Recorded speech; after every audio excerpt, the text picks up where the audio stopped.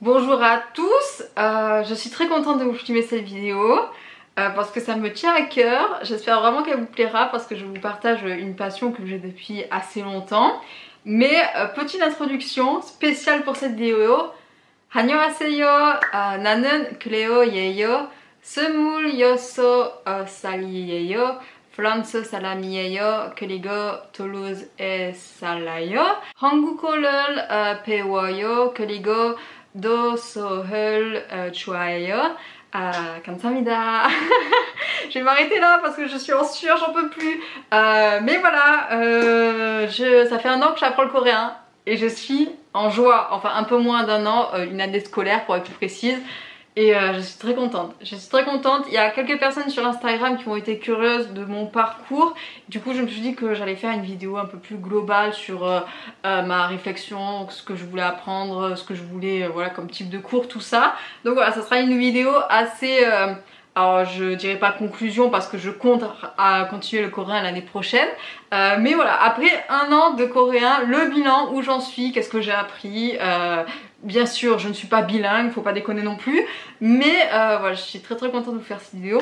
Donc sans plus attendre, euh, le poids du comment, alors déjà c'est vrai que euh, il faut être passionné hein, pour apprendre une nouvelle langue et c'est vrai que L'année dernière, quand je réfléchissais à ce que je voulais apprendre comme langue, j'hésitais beaucoup entre le japonais et le coréen, vu que c'est deux langues qui me passionnent énormément. Voilà, je suis tombée dans le Japon avec les mangas, tout ça, au collège je dirais, le coréen un peu plus tard quand même avec les K-dramas de Napan. Et c'est vrai que ouais, j'hésitais entre les deux et comment vous dire, quand je me suis intéressée un peu au japonais ou au coréen, c'est vrai que des fois on essaie d'apprendre un peu tout seul dans notre coin, que soit l'alphabet, tout ça, avec des applications, des trucs qu'on peut trouver sur internet. Et euh, moi, de, mon, de ma part, je suis jamais très assidue. Euh, pour ce genre de choses, il faut vraiment que j'ai un, minimum, un cadre un, peu scolaire, euh, si, on peut dire. Et j'avais essayé via des, des, applications, tout ça, ça n'avait pas trop marché. Et je m'étais chauffée du coup l'année dernière en disant je vais apprendre une nouvelle langue. Et euh, mon cœur s'est plus tourné vers le coréen que le japonais parce que c'est vrai que le japonais du coup est une langue un peu plus compliquée que le coréen, n'est-ce pas Vu que euh, il y a combien de types de, caractères et d'alphabets? Il doit y en avoir 3 ou 4, je sais plus exactement. Alors que euh, l'alphabet coréen est beaucoup plus facile vu qu'il y a à peu près à une ou deux lettres près le même nombre de caractères qu'en français. Euh, et voilà, ça change pas en fonction de, tout, un plein de trucs comme le japonais. Et euh, du coup, c'est ça qui m'intéressait euh, dans l'apprentissage du coréen, c'est que je savais que ça allait peut-être être un peu plus facile que le coréen. Et après, il y avait, il y a une affinité de la langue quelque part aussi, c'est que j'aime beaucoup le japonais, j'aime beaucoup l'entendre, mais le parler, je me voyais pas trop, franchement. Alors que le coréen, je sais pas si c'est le fait que je regarde beaucoup d'animations japonaises et aucun, comment dire, série euh, comme les K-dramas au Japon. Je n'en regarde aucun.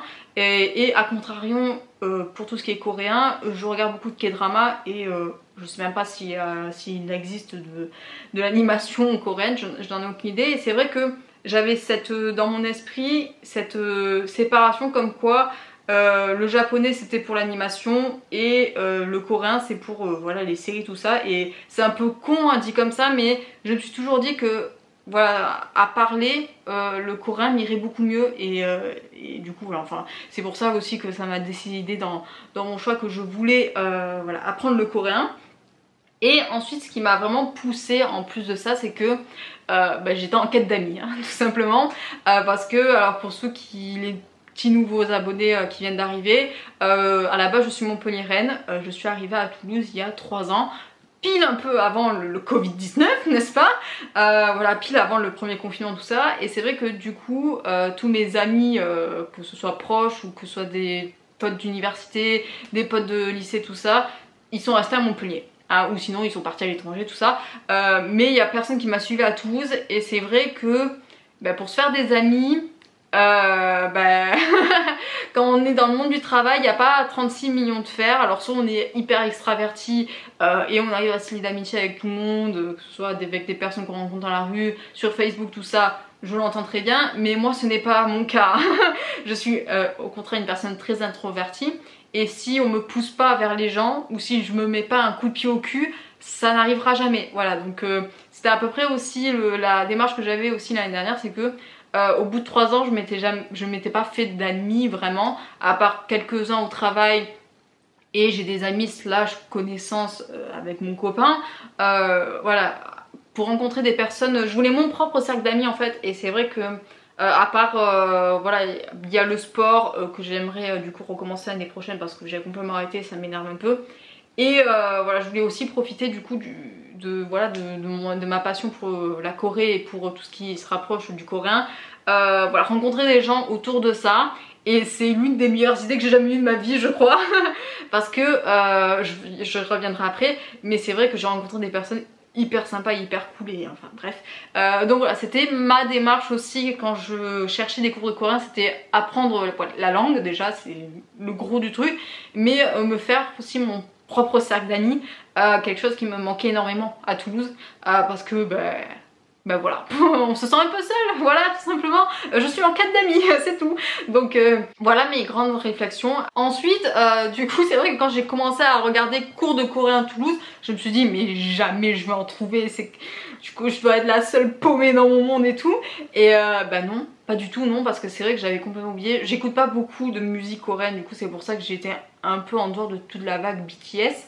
Euh, mais c'est vrai que ça fait 3-4 ans que ça cartonne, donc euh, sans grande surprise, j'ai trouvé des cours de coréen à Toulouse. Euh, alors j'avais trouvé deux organismes, dont là où j'ai fait mes cours de coréen à l'association franco-coréenne de Toulouse. Il y avait une autre, comment dire, je sais plus si c'était une librairie spécialisée, tout ça, qui faisait aussi des cours de coréen et de japonais, tout ça. Et ensuite, j'avais regardé, mais alors vraiment très très loin, parce que c'est vrai que là j'ai une pote qui m'a parlé du compte de formation euh, quand on travaille, du coup on cotise pour de la formation et elle, elle a pris des, cours de japonais pour cet été. Euh, j'avais regardé à l'époque aussi pour le coréen, il y avait des choses, mais c'est vrai que je sais pas trop, je, voulais vraiment, euh, comment dire appartenir à quelque chose, vous voyez. et c'est ce que j'ai retrouvé dans l'association de coréenne de Toulouse, c'est que en plus des cours, on, paye du coup une, adhésion à l'association euh, et comme quoi voilà on est invité à certains événements. En plus des cours de coréen, voilà il y avait des cours de cuisine, des ateliers de cinéma, il y avait plein de choses et c'est vrai que du coup ça ça stimule plus que voilà prendre des cours vraiment juste pour prendre des cours. Euh, bon après il y a des personnes qui euh, c'est juste pour ça et euh, voilà tant mieux pour eux. Mais c'est vrai que je, voulais une vie associative quelque part et c'est ça ce que je cherchais. C'était vraiment rencontrer des personnes que après j'avais ben, retrouvé pas forcément pendant mes cours de coréen. On allait sortir, on allait faire des restos, on allait voir je sais pas trop des films tout ça. Et j'ai retrouvé ça du coup dans cette association, c'est pour ça que du coup l'année prochaine je prendrai des cours pareils à, la même, à la même association. Euh, et, puis voilà, puis c'était hyper bien quoi. Euh, parce que je me suis intéressée, ça a commencé début octobre je crois les cours de coréen. Et euh, je me suis chauffée mi-octobre, hein, donc ça avait déjà commencé. Et le temps je rentre en contact avec la prof pour le créneau tout ça, elle m'a appelé, je me souviendrai toujours, elle m'a appelé le 31 octobre.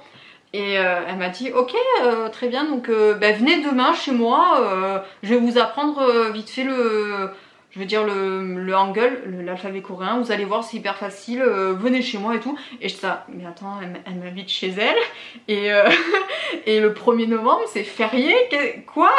Et c'est vrai que j'ai bégayé un peu, et je me suis dit mais déjà où je vais, parce que j'étais chez mon copain, je fais si je suis pas revenue dans deux heures, appelle la police, la mafia coréenne qui m'enlève et tout. Euh, mais non, du coup, c'était une personne, déjà la prof, du coup, en, la première impression que j'ai eue, c'est que c'était une personne foncièrement gentille en fait. C'est euh, une native aussi euh, de, de, de, la Corée, elle avait fait ses études à Montpellier, hasard de malade. Et euh, du coup, c'est vrai que le feeling a de suite accroché avec la prof et c'était, voilà, elle m'avait pris en particulier euh, comme ça chez elle et tout. Euh, et voilà, elle m'avait pris une heure et demie pour bah, prendre le angle et c'était génial, c'était génial. Après, du coup, j'ai intégré bah, l'un des cours débutants. où l'ambiance n'a pas été du feu de Dieu. je il y avait un créneau le mardi soir, celui que j'ai pris, et un autre le samedi matin. Euh, et c'est le samedi matin, je, voulais pas trop parce que déjà ça signifiait se lever. Et parce que le, le week-end, bah, des fois je suis pas là, je suis à Montpellier, je suis chez mon grand-père, euh, je fais un tournoi avec mon copain, enfin voilà, il y a plein de choses qui font que le week-end ça me dérangeait un peu. Du coup j'ai intégré le cours du, du mardi à soir et ça m'allait très très bien, de 19h30 à 21h, génial. Et euh, j'ai rencontré des personnes hyper sympa et c'est vrai que euh, il y, a toujours une, alors je dirais pas une petite rivalité entre les deux groupes de, débutants, mais il y a tout le monde nous a dit les deux groupes sont hyper euh, comment dire euh, c'est l'opposé. on a dans notre groupe du coup, il y a de tout en fait, c'est assez dingue. Je m'attendais pas à, je m'attendais à avoir des jeunes adultes un peu comme moi ou des adultes. Et c'est vrai que bah non. Et il y a combien? Il y a deux, deux collégiennes et deux lycéennes, je crois, qui ont, qui, ont, qui ont fait notre cours. Et sur le coup, je me suis dit, mais moi, à leur âge, fin collège, jamais de ma vie, j'arrive, enfin, j'avais l'intention d'apprendre une autre langue. En fait, je, galérais déjà ça avec l'anglais et l'espagnol. À quel moment j'allais apprendre encore une troisième, mais ça va pas. Et euh, du coup, c'est énorme le. Ouais, ça m'a étonné. J'ai trouvé ça hyper cool de qu'à cet âge-là, du coup, on ben, prenne des cours et tout. Alors certes c'est de la passion et tout, euh, et c'est pas pris comme euh, voilà de, l'école, du devoir, tout ça. Mais euh, ouais, à cet âge-là, jamais de ma vie, j'allais prendre une troisième, une troisième langue en cours. Et ouais, après il y a eu des personnes de mon âge et des personnes plus vieilles. Et c'est vrai que ce groupe du coup a fait que on s'est tous hyper bien entendus, on est tous assez soudés et on veut du coup être tous ensemble l'année prochaine. Et euh, l'autre cours du samedi, et je me dis heureusement que je suis allée dans le cours du mardi, apparemment c'est, euh, je dirais pas la guerre froide, mais il euh, n'y a pas trop d'ambiance, il n'y a pas trop d'amitié, ils sont tous chacun de leur côté, c'est très studieux tout ça, alors que nous c'est un peu plus à la cool. Et, c'était ce que je voulais du coup, donc je suis hyper contente, parce que si je m'étais retrouvée dans la, classe du samedi, vu ma timidité profonde que j'ai, jamais je, me serais liée d'amitié avec ces personnes-là, ou jamais j'aurais réussi. Et euh, peut-être que cette année-là aurait été euh, un peu plus terne, de ce que je comprends. Mais bref, du coup l'ambiance hyper cool, la prof hyper cool et je suis hyper contente. Euh, ensuite pour le coréen en lui-même, il faut savoir que du coup j'ai validé entre guillemets le, comment dire, le niveau débutant. là l'année prochaine on va aller dans le cours du faux débutant pour finir la session débutante et commencer la, la comment dire la, la je dirais pas que c'est de l'avancée mais d'une bref j'en sais rien je sais pas trop. Et euh, du coup pour après en revenir à ce que j'ai pu apprendre cette année euh, bah, déjà j'ai appris à me présenter euh, j'ai appris pas mal de choses. Comme quoi c'est assez comment dire alors j'ai appris à faire des phrases simples donc je pense qu'on peut faire des phrases hyper plus compliquées que ce que j'ai pu apprendre. Mais c'est vrai que du coup je sais lire le coréen. Alors Certes, je sais le lire, mais je, ça veut pas dire que je comprends forcément ce que je lis, attention. Euh, mais je sais lire les caractères, je sais dire euh, vraiment ça en deux, deux trois semaines c'était plié. Franchement, l'alphabet, euh, il n'y avait pas... C'était hyper facile, il n'y a pas beaucoup de choses, c'est comme je dis, c'est un peu... C'est du vocal un peu, c'est du, c'est de la sonorité, le, coréen, donc ça, ça prend assez vite l'alphabet. Et ensuite, bah attendez, je vais peut-être vous j'ai pas mon cahier sur moi, je crois que je l'ai euh, chez mon copain. Mais euh, du coup on a appris l'alphabet, euh, on a appris aussi, comment dire, la nationalité, comment se présenter avec certains types de métiers, tout ça, les, premières phrases en fait qu'on a fait avec le verbe être, je suis machin, je m'appelle machin, je suis...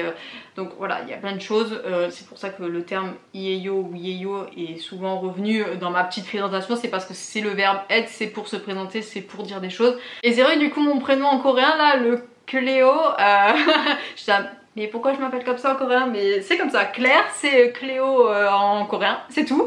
Et euh, ensuite, qu'est-ce que j'ai appris les... Il y a deux types de, de comptage, de numérotation en Corée. Alors ça, quand j'ai vu ça, j'ai cru que j'allais péter un plomb. Mais que voulez-vous, c'est comme ça. Il y a le, les chiffres coréens et les chiffres sino-coréens. donc bon, il y a ça... c'est un peu compliqué de comment dire, de savoir quel type de numérotation est et c'est associé à certaines situations. Euh, ça, il faut l'apprendre par cœur. Par exemple, le, sino-coréen, c'est pour tout ce qui est monétaire. Euh, il y a aussi euh, les minutes. comment dire Je crois que c'est les numéros de téléphone peut-être. Ouais, quelque chose comme ça. Et le, les nombres coréens, c'est pour l'âge. pour quantifier quelque chose, n'importe quoi, pour les heures et puis voilà pense que c'est tout. je crois. Du coup, euh, bah, j'ai appris à lire l'heure, j'ai appris à dire l'heure, euh, j'ai appris les jours de la semaine, euh, le repérage dans le temps, demain, après-demain. j'ai appris le, le présent, l'impératif, le subjonctif et le passé. qu'est-ce que qu'est-ce qu'il y a eu On a eu quoi comme le restaurant, tout ce qui est comment dire je sais commander au restaurant du coup maintenant je sais ce qu'il faut dire. Donc euh, ouais il euh, y a après qu'est-ce qu'on a eu euh, on a eu tout ce qui était vie daily life. Je sais plus comment avec beaucoup de verbes de la vie courante des lieux des comment dire du vocabulaire vraiment le livre le crayon. Et voilà plein de c'est un peu dur de vous dire ce que j'ai appris parce que je, je pense que j'ai appris beaucoup de choses. Il y a aussi tout le business des particules euh, qu'on retrouve, euh, alors je crois que c'est en euh, le coréen est beaucoup inspiré du chinois donc je, je crois qu'en chinois il y a beaucoup de particules soit des particules de sujet de description de lieu de temps voilà quand on, accorde une particule au mot et voilà ça change le sens un peu de, de, la phrase. Par exemple quand on accole voilà une particule de temps à un chiffre ça peut être une minute, ça peut être une heure, enfin vraiment il y a beaucoup de choses. Euh, les particules c'est vraiment un enfer à apprendre mais on s'y fait plus ou moins. Euh, c'est pour ça que ouais, dans, ma présentation j'ai utilisé une particule de lieu, je suis pas sûre de mon coup mais euh, voilà on va voir, j'espère que vous serez indulgents. Et j'ai appris beaucoup de choses, qu'est-ce que j'essaie de me remémorer mais on a appris oui, le, tout ce qui est rapport au temps, les rendez-vous, euh, euh, les, lieux aussi, euh, vraiment on se retrouve à tel endroit, les la conjugaison, les, beaucoup de verbes, et après tout un tas de vocabulaire qui fait que je ne vais pas vous le ressortir maintenant, hein.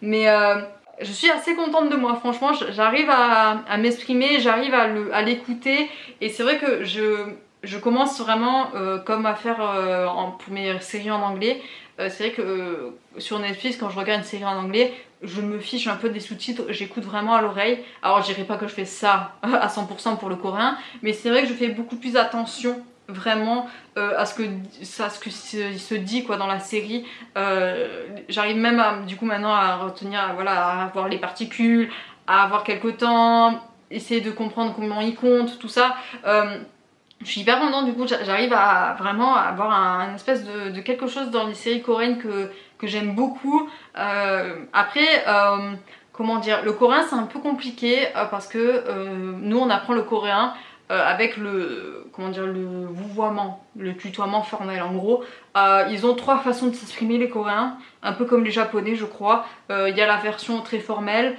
il y a la version formelle slash vouvoiement qu'on nous on apprend et la comment dire la, la, personnelle, enfin le tutoiement en gros qu'on utilise vraiment avec des personnes qu'on connaît euh, et que voilà des amis très proches, peut-être les parents et encore les parents je crois que au système du, coréen euh, c'est beaucoup de respect tout ça. Euh, mais voilà donc nous on apprend l'entre-deux, pas le très formel mais pas le familier non plus, on apprend vraiment le, normal entre guillemets. Et c'est vrai que du coup dans certaines séries comment dire ça, change un peu la, comment dire la, la, la, formulation de la phrase euh, parce que les terminaisons de verbes ne sont pas les mêmes en fait c'est vraiment le, verbe qui va faire que euh, on le conjugue euh, soit à la manière formelle soit à la manière normale soit à la manière familière il y a aussi des mots qui vont changer un peu voilà qui vont avoir une terminaison un peu bizarre mais ouais c'est vrai que du coup dans les séries quand ils parlent vraiment que de la manière formelle je suis là en mode qu'est-ce qu'il dit Et voilà, il y a plein de petits trucs comme ça du coup que, j'aime beaucoup remarquer euh, en coréen. Euh, je suis hyper contente vraiment de, voilà, de, voir qu'en plus euh, j'arrive quand même à, comment dire, valoriser, maîtriser, je sais pas trop, mes efforts quand je lis, quand je regarde une série coréenne. Voilà, que j'arrive à, comprendre des trucs et tout, je suis hyper contente. Des fois je me suis pose pour lire le message, je suis là, est-ce que je comprends bien et tout. Bref, je suis trop hypée, je suis hyper contente. Euh, donc euh, ouais, après l'apprentissage d'une c'est un peu comme euh, on faisait à l'école, c'est-à-dire que c'est beaucoup de, vocabulaire qu'il faut apprendre. Et c'est vrai que moi je suis, je suis un peu... je boude un peu le vocabulaire, mais on va y arriver. On va y arriver cet été, c'est ce que je vais faire. je vais faire à fond le vocabulaire pour que l'année prochaine je sois pas complètement larguée. Euh, mais oui, c'est un rythme un peu scolaire que, que je dirais pas que ça m'avait manqué, loin de là, je veux pas retourner à l'école, euh, pas du tout.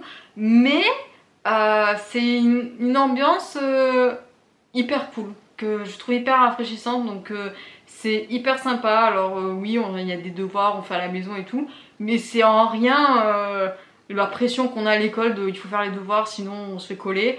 là c'est vraiment moi, je, si vous avez l'occasion, si vous voulez vraiment apprendre une autre langue, faites-le. Franchement, moi, j'ai un retour d'expérience, mais de malade mental. Hein.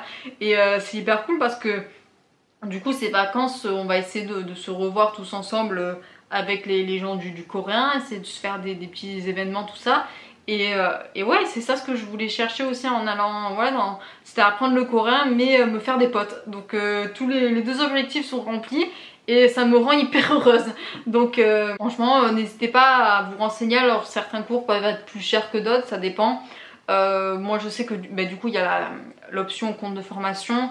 Moi je sais qu'il y a une partie de mon CSE en entreprise qui prend en charge voilà, quelques frais de... pas tout mais quelques frais en tout cas de, langue, tout ça. Et, et puis voilà donc renseignez-vous mais ça vaut le coup. franchement c'est c'est trop bien. Ça, me, stimule le cerveau, ça me stimule le cœur. Que demander de plus? Je ne sais pas. Mais euh, du coup, je suis, je suis hyper contente. J'ai très très hâte d'être l'année prochaine euh, pour euh, continuer les cours de coréen. Voilà, je vais essayer de garder le rythme quand même de, pour pas tout oublier. Mais en tout cas, je m'attendais pas vraiment à mon premier cours de coréen à vivre autant de choses et à me faire des potes vraiment. Alors même s'il y en a certains qui s'en vont et d'autres qui vont certainement se rajouter l'année prochaine euh, j'espère. Et c'est ce que la prof veut aussi c'est qu'on voilà, qu'on garde le même socle de personnes euh, pour l'année prochaine au maximum. Euh, donc voilà pour garder la, bonne ambiance et tout ça mais ouais donc on verra l'année prochaine mais en tout cas cette année là fut riche en émotions et je suis hyper contente. Voilà, c'était ce que je voulais vous dire, euh, vous partager un peu ma, passion de, la langue coréenne et, de la Corée en général, euh, parce qu'en plus je vois qu'il y a un sacré engouement ces derniers temps sur la Corée. Euh, il y a beaucoup de personnes qui y sont allées, je comprends pas trop tous d'un coup là, mais bon, moi j'y ai prévu, alors l'année prochaine on a prévu d'aller ben, en priorité au Japon mais les frontières sont toujours pas réouvertes ou sont réouvertes sous certaines conditions d'être dans une maison touristique tout ça euh, flemme, jamais j'irai voir le Japon comme ça. Donc euh, l'année prochaine, si le Japon n'a toujours pas réouvert euh, complètement ses frontières, ben, on ira en Corée. Voilà Donc on verra, on verra, mais on va partir l'année prochaine c'est sûr. Et j'ai très très hâte là aussi. Donc bon, ça sera tout pour cette vidéo. J'espère que ça vous aura plu, que ça vous aura un peu intéressé, que ça vous aura donné des pistes aussi. si vous êtes dans la même situation que moi, que vous changez de ville, et que vous n'avez pas forcément euh, d'amis euh, sur place et que vous voulez rencontrer de, nouvelles personnes, euh, franchement, bah, en plus du sport, voilà, je vous donne une autre piste, les, cours de langue, voilà, si vous voulez essayer, allez-y les yeux fermés, je, pense que vous ne regretterez pas. après, voilà, il faut que vous ayez un minimum une passion pour la langue, sinon je veux dire, euh, j'aurais eu aucun intérêt à prendre des cours d'espagnol hein, ou, de, chinois ou j'en sais rien alors que c'est pas quelque chose qui me plaît. Donc voilà, faites quelque chose qui vous plaît et, qui, et partagez-le avec des personnes qui ont la même passion que vous. Euh, ça sera d'autant plus énorme et euh, d'autant plus bien. Et donc voilà je vous encourage vivement. Et je suis très contente. Je suis très contente. Sur ce je vais vous laisser. Vraiment je vais pas vous retenir plus longtemps. J'ai parlé un peu trop de ma vie. Je suis un peu gênée mais euh, j'espère que la vidéo vous aura plu. Euh, n'hésitez pas à me faire un retour euh, voilà, si vous, avez pris des cours de langue, si vous avez eu d'autres idées, tout ça. Donc j'espère que ça va bien dans vos vies d'ailleurs. prenez soin de vous, c'est le plus important. sur ce, je vais vous laisser. Je vous souhaite à tous un très bel après-midi, une très belle journée, un très bon week-end, ainsi de suite. Et bien évidemment d'excellentes lectures. Bye bye